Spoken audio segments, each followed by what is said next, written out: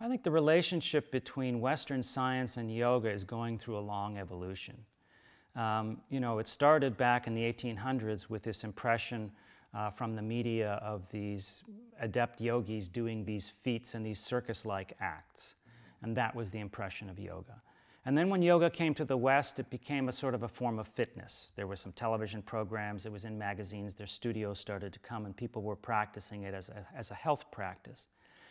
And we're reaching a point now where there's an exponential growth in the popularity of yoga, not just in the physical form, but also in the traditional form of yoga where all the components are being taught.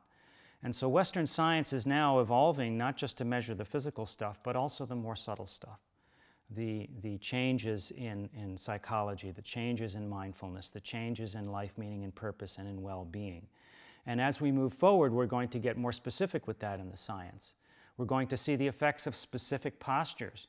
Many people think that meditation is just one thing, but there's many, many different forms of meditation. And these different meditations can have very, very different effects. And so as the science moved forward, not only are we going to continue the validation of how powerful these techniques are, we're also going to get into the specificities of how much yoga do you need and how often and which specific exercises are the best to practice for yourself but also for different um, medical populations. So it's going to evolve and become more complex in, in addition to broadening in terms of the amount of research that's being done.